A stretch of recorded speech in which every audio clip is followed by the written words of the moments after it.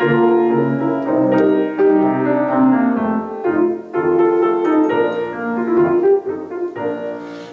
it be a dance we do.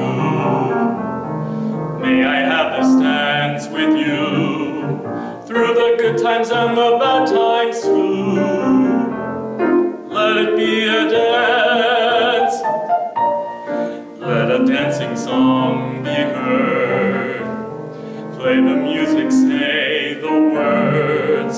fill the sky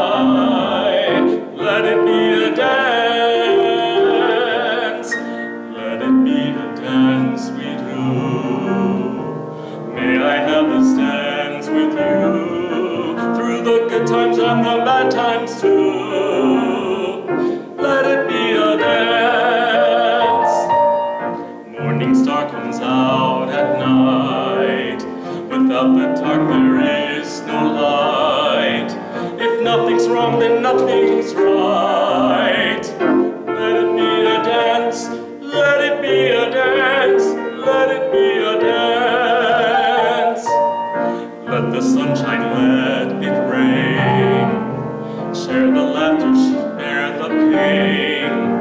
And round and round we go again. Let it be a dance. Hello, my name is Beth Emery, and I am your service leader for the Abraham Lincoln Unitarian Universalist virtual service. It is our custom in the Unitarian Universalist tradition to light a chalice at the start of our service. By doing so, we declare this to be a time of significance, a sacred time together. We are reminded that teachings of both science and various religious traditions tell us that it, in the beginning there was a spark. With time, the spark continued to unfold, to encompass all that is, to be engendered in each living being, to incarnate in all beings. With the lighting of this chalice, we declare this time together to be sacred. If you have a chalice or candle at home, I invite you to light it now with me.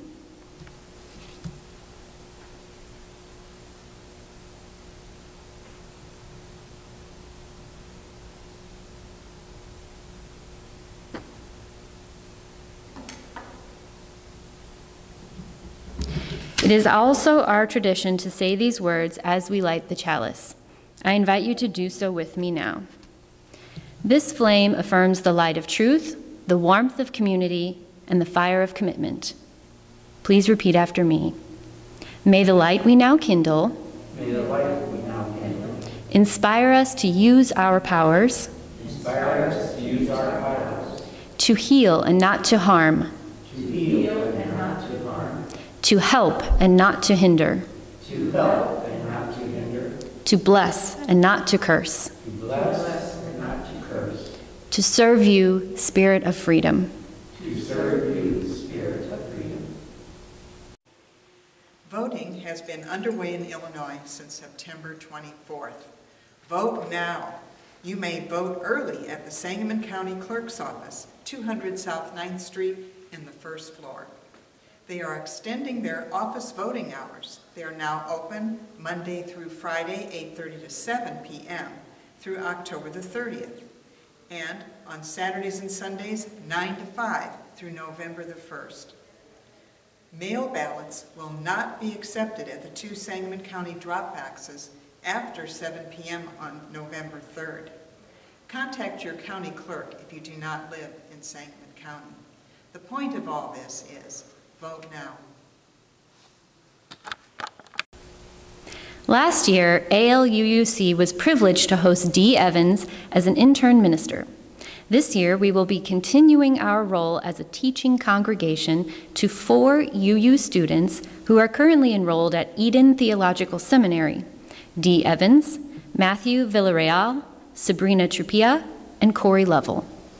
This joint internship is a new initiative with four UU congregations working in cooperation. In addition to Abraham Lincoln Unitarian Universalist Congregation, we have First Unitarian of St. Louis, Eliot Unitarian Chapel, and Carbondale Unitarian Fellowship. Together, these four congregations will provide opportunities in preaching, religious education, pastoral care, and other aspects of congregational life. Today's sermon will be delivered by the four UU seminarian students from Eden Theological Seminary. Our reading today to open our service is from Lifting Our Voices. Here in this place of peace, may we find hope. Here in this place of connection, may we find life giving community. Here in this place of rest, let the unrest of our hearts turn toward justice. Here in this space made sacred by memories of connection, let us each feel ourselves part of the new that grows from the old in the spiraling unity of years. Leslie Takahashi.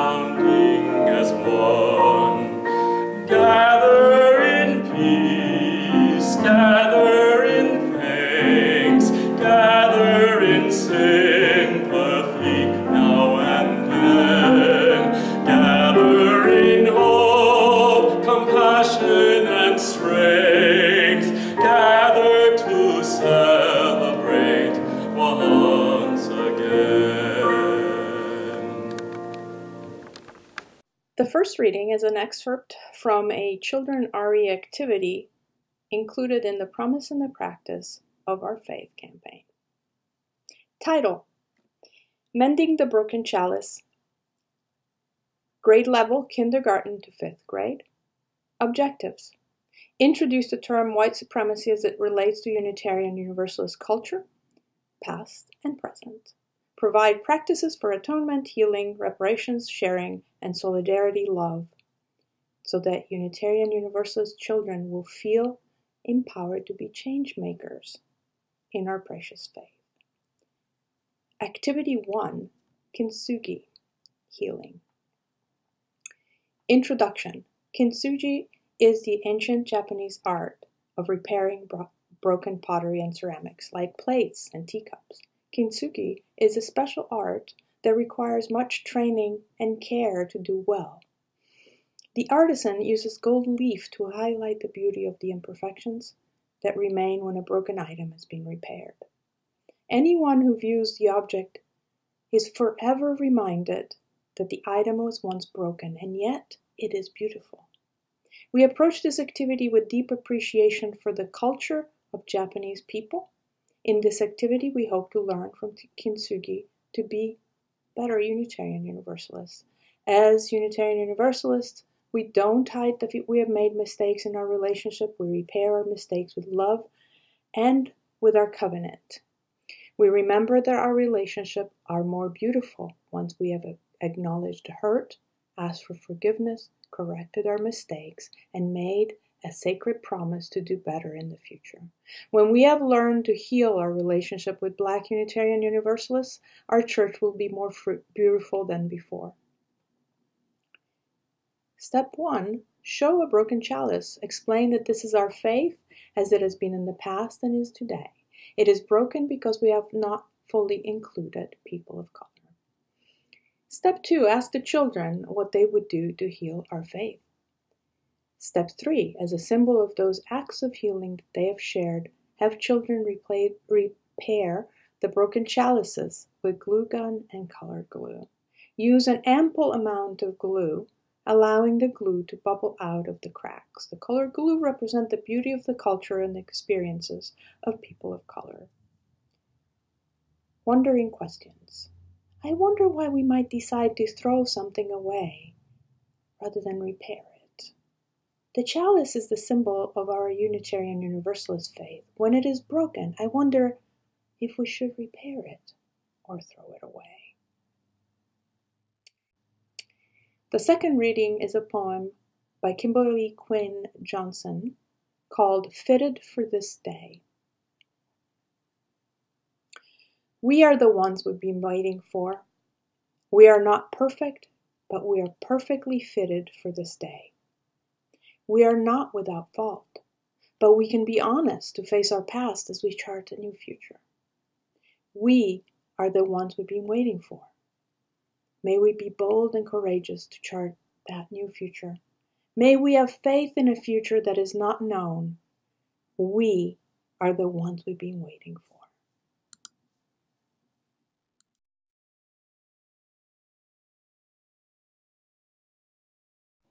Unitarian Universalism saves lives. That statement has been repeated many times. It has been written many times. The meaning of it has been explored in many ways. Like many of you, when I entered my first Unitarian church, I was burnt out. Like many of you, I had spent years fighting for social justice. Like many of you, I was discouraged and believed things would not change, no matter what I did or what anyone else did. Joining that church brought me into a group of people that literally moved me from discouragement into hope. A life moved from discouragement to hope is a life saved.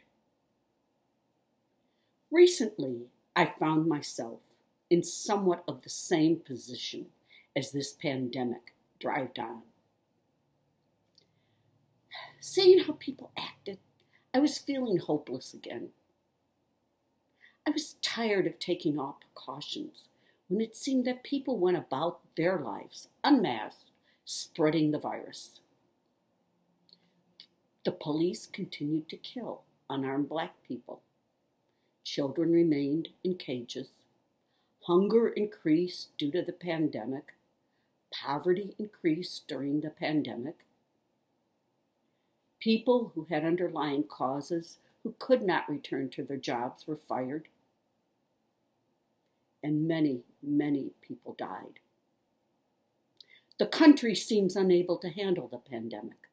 The country is unable to handle any of the injustices that resulted from the pandemic. Many of us with underlying causes must remain almost totally sequestered from in person contact. The pandemic, the isolation, and the dire economic results of the pandemic have resulted in increased mental health problems To all the injustices already in the world came these injustices resulting from the pandemic. During this time of discouragement over all these things, we four Unitarian Universalist students at Eden Theological Seminary in Webster Groves organized a joint internship. Our hope was that we could do this at four UU churches. Both Eden and the pastors and the boards of the four Unitarian Universalist churches gave us their blessing to go ahead with this joint internship. Though early in this internship, I already met people via Zoom. I met people who care, people who are trying to address the issues of racism and immigration the environment, poverty, and getting out the vote despite the pandemic. I have attended innovative Sunday services at your churches because of Zoom and YouTube. Coffee hours are warm and welcoming. Yes, we have a broken world. And yes, we as individuals can be broken in some ways by this broken world. But as Unitarian Universalists, we covenant through the UUA to try to live out our principles. We covenant with our congregations to support one another in this endeavor of living out our principles. Our covenants join us together Together, we are still working to help the broken world and to support each other in this broken world. When the broken world tries to break us, when we come to these people we have covenanted with, we get restored, we get repaired. That is what I have met in these congregations I visited. We meet and we repair each other. We help each other and we are made whole. Like the repair of the broken Japanese pottery in the reading today, Universalists and Unitarians and Unitarian Universalists are stronger together.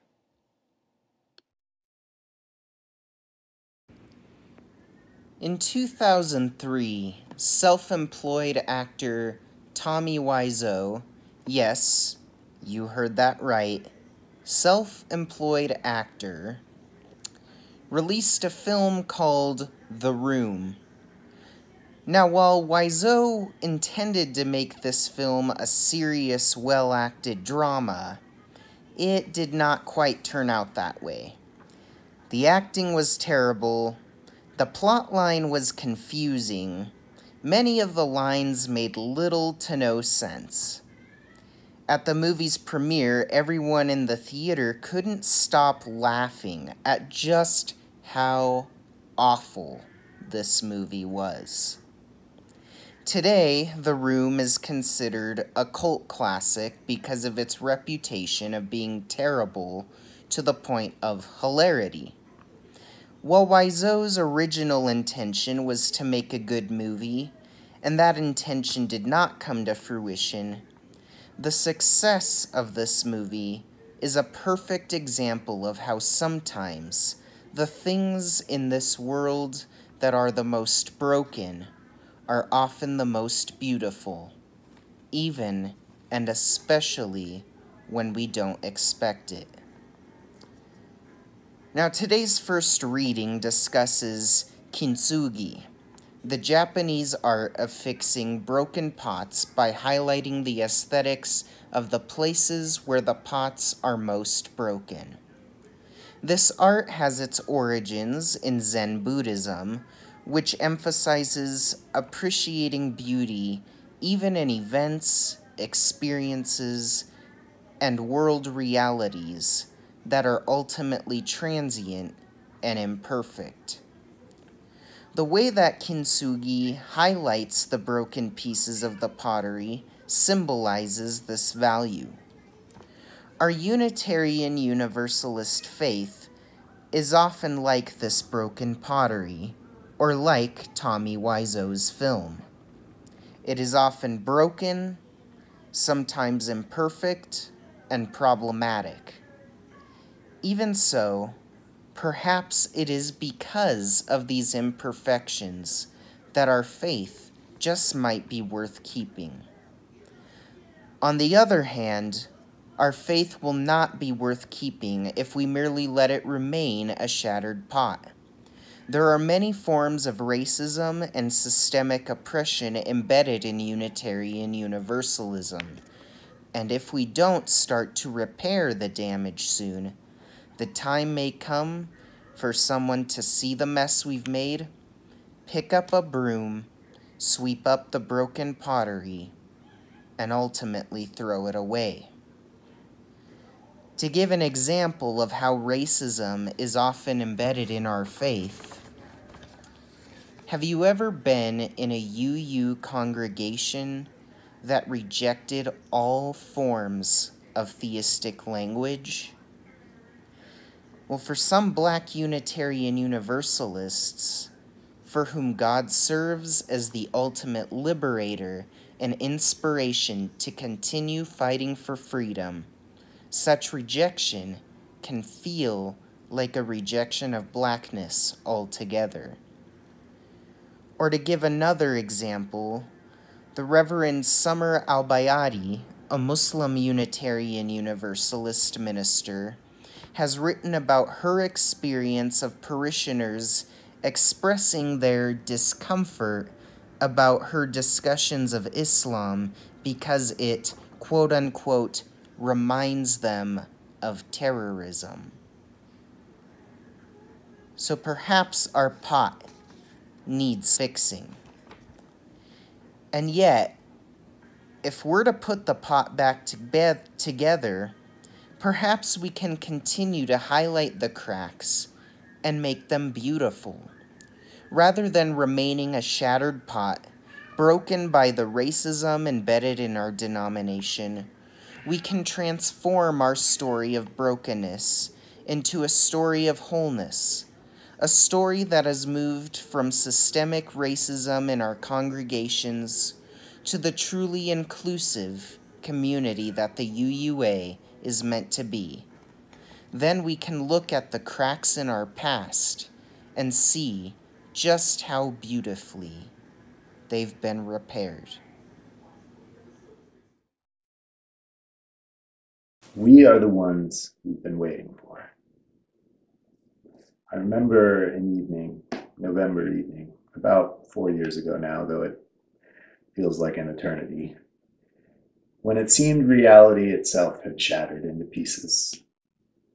My assumptions of America as a society, my perceptions of any progress we had or had not made, my faith I had once held in our inherent goodness, our judgment, our ethics was all broken.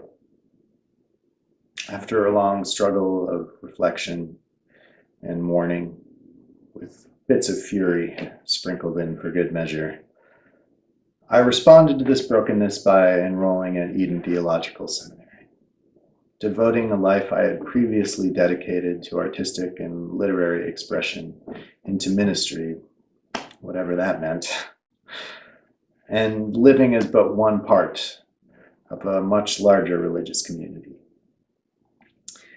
it was the best decision I'd ever made.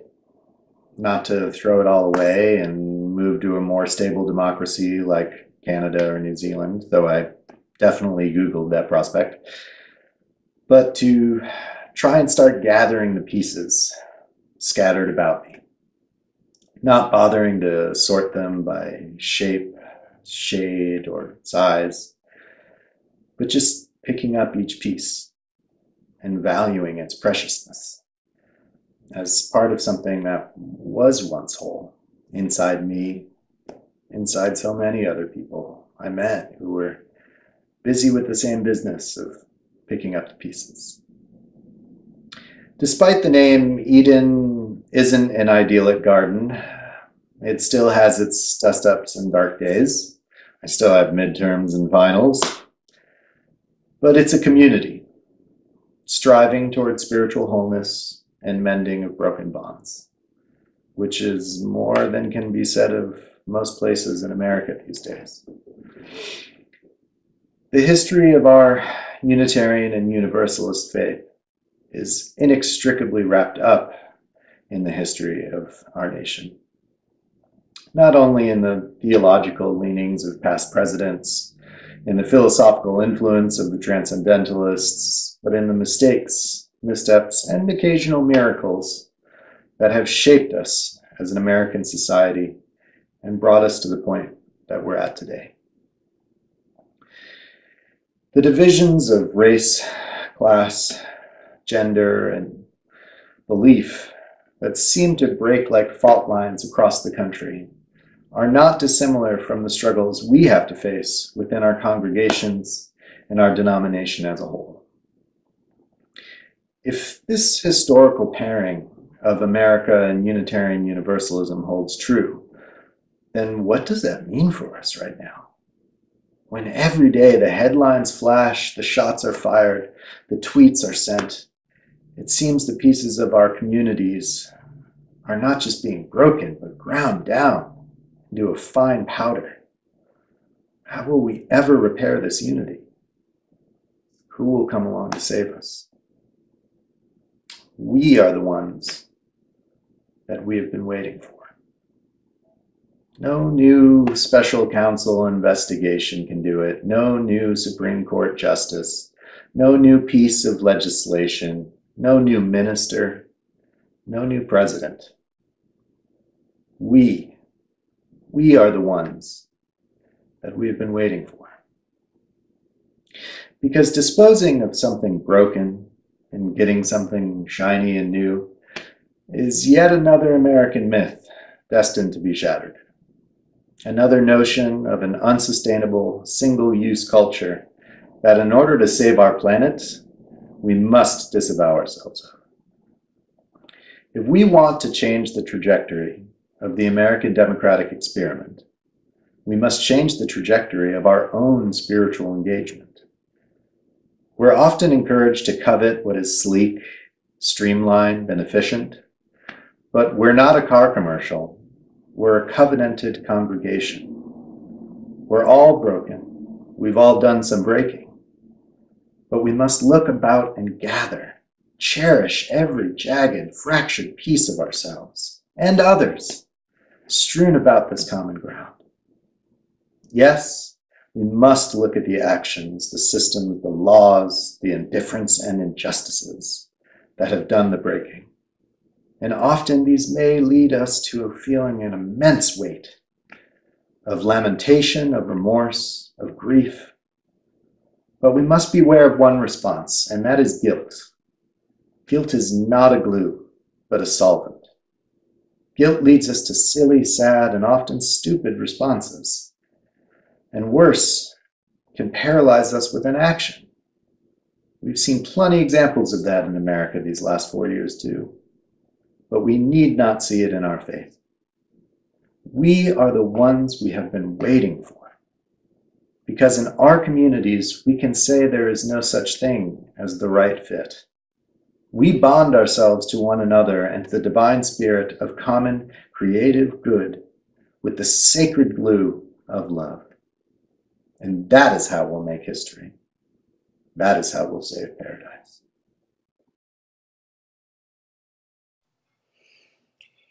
There is this hymn we sing in chapel at Eden Seminary. It's called Draw the Circle Wide. And it goes a little bit like this Draw the circle, draw the circle wide. Draw the circle, draw the circle wide. No one stands alone, we'll stand side by side. Draw the circle, draw the circle wide. When I arrived at the metaphorical door of Unitarian Universalism, frazzled, a little nihilistic, spiritually running on empty, I was looking for a place that would be my community that would have me and love me just as I am.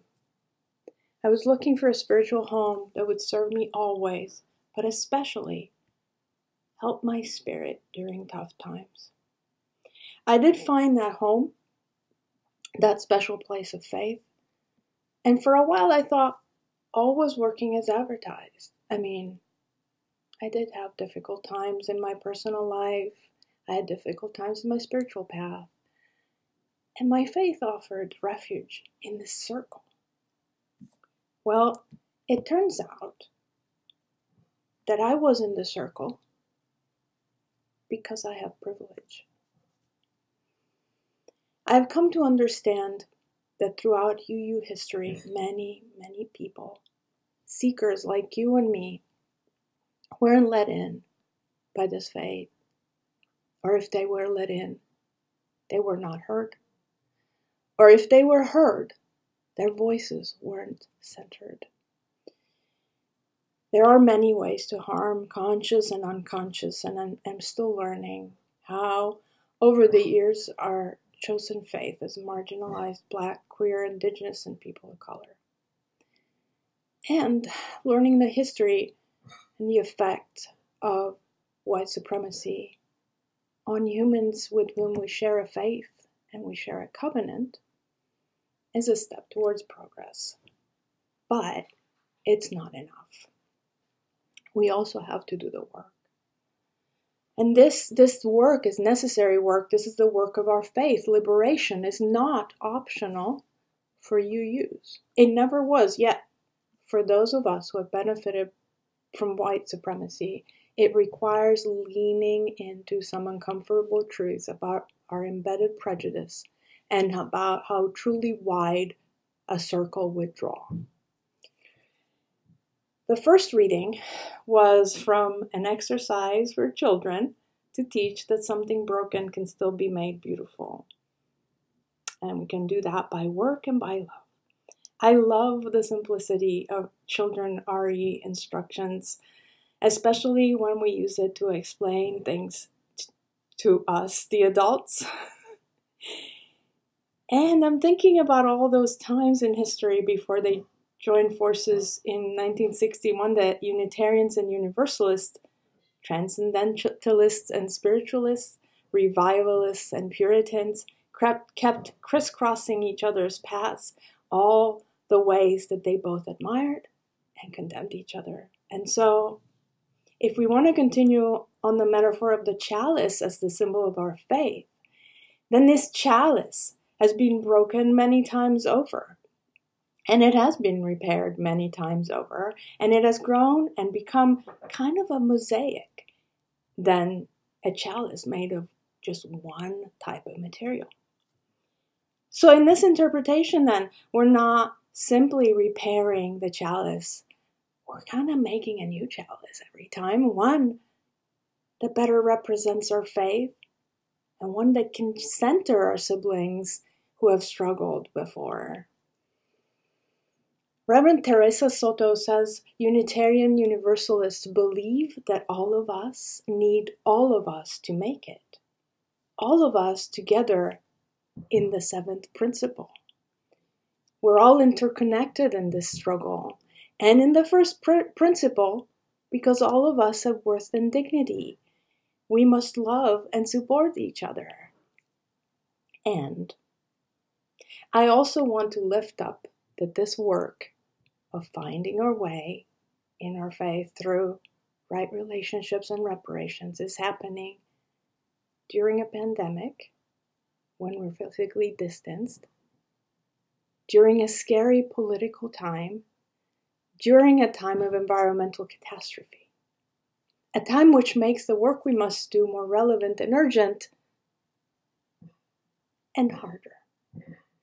Can we do it? My answer to it is yes. In fact, what better time than now? But I'm not going to lie to you.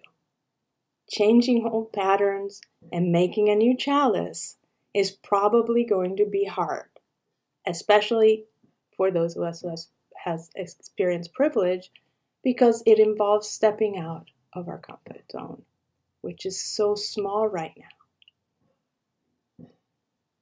But this is the work that ultimately will liberate all of us. All of us. So the path to wholeness is always messy, but within the mess, we still have opportunities to highlight the beauty of our repaired covenants, the beauty of coming back to relationship. This is the faith we all are called into, a faith that is centered in love. Whether we follow humanism, Islam, Buddhism, Judaism, Christianity, or none of the above, love unites us, and love is never broken. As we just read in the second reading, we are the ones we have been waiting for. May we be bold and courageous to chart that new future.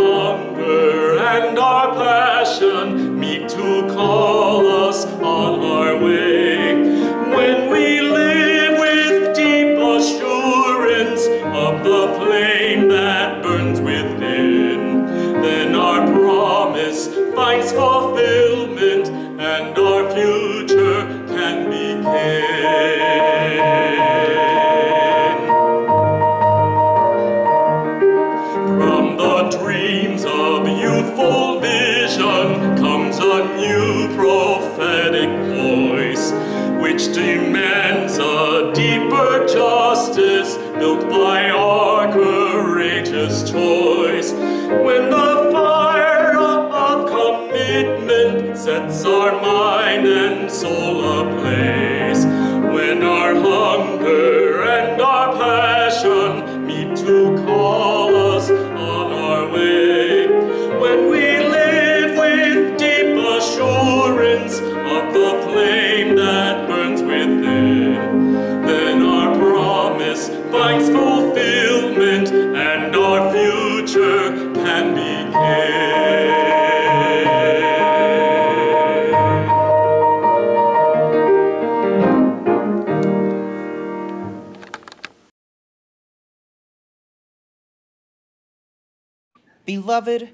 go forth and do the work necessary to fix the broken pottery that is our world full of racism and oppression.